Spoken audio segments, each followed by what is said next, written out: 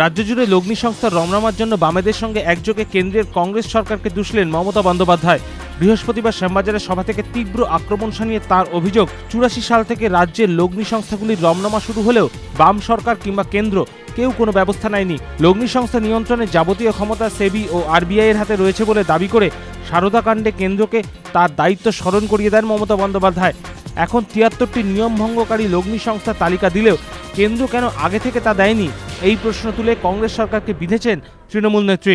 একদিকে রাহুল গান্ধী যখন প্রদেশ কংগ্রেস নেতৃত্বকে নিজের পায়ে দাঁড়ানোর পরামর্শ দিচ্ছেন, তখন একলা চলার সুর তৃণমূল নেত্রীর গলাতেও। কংগ্রেস সিপিএমের উদ্দেশ্যে তার মন্তব্য, তৃণমূলের বিরুদ্ধে সবাই জোট বাঁধলে মানুষ সেই জোটের বিরুদ্ধে একজোট হবে।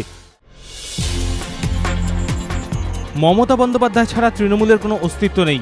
মাঝে মধ্যেই এই কটাক্ষ করে থাকেন বিরোধীরা। বৃহস্পতিবার শ্যামবাজারের সভা থেকে তারও জবাব দিলেন তৃণমূল নেত্রী।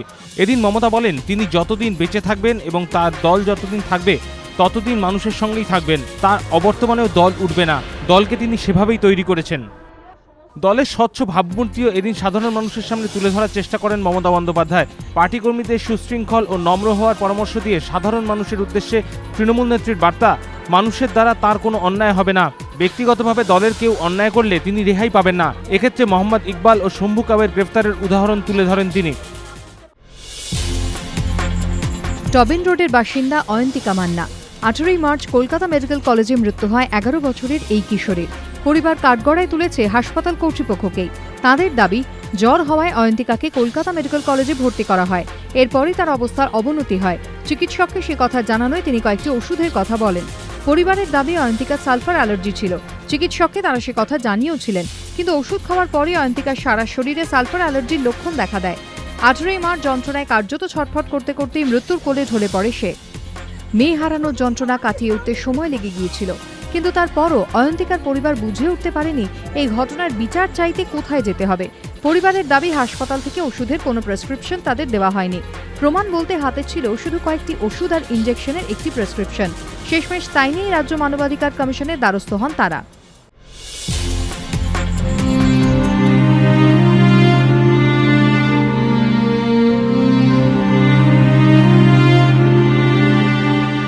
একদিন মুক্তি পাবেন সর্বজিৎ। ফিরবেন ঘরে। স্বপ্ন দেখেছিল পরিবার। সর্বজিৎ ফিরলেন, কিন্তু কফিন বন্দি হয়ে। তেইশ বছর ধরে অক্লান্ত লড়াই, নিজের দেশে ফিরে আসার লড়াই, নিজেকে নির্দোষ প্রমাণের লড়াই, পাকিস্তানের জেলে বন্দি এক ভারতীয়র লড়াই। নাম, সর্বজিৎ সিংহ।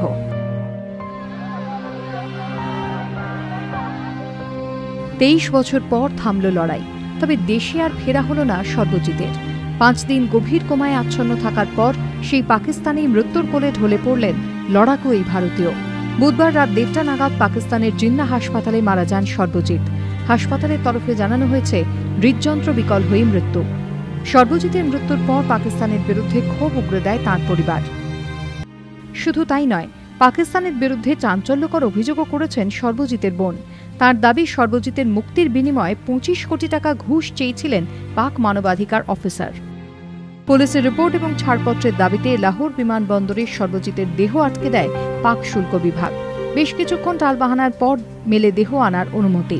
এয়ার ইন্ডিয়ার বিশেষ বিমানে রাত আটটা নাগাদ সর্বজিতের দেহ পৌঁছয় অমৃতসরে। পরে দেহ পৌঁছয় অমৃতসরের গ্রামের বাড়িতে।